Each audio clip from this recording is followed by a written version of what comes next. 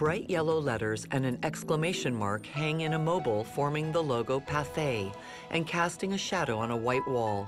The shadow letters are replaced by the silhouette of a rooster.